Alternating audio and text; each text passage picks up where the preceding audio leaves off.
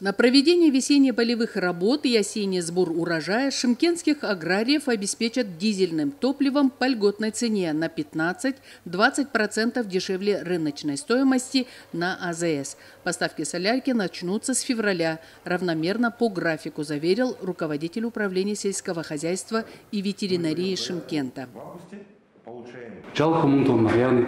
Одобрены заявки на выдачу тысячи тонн дизельного топлива по льготной цене.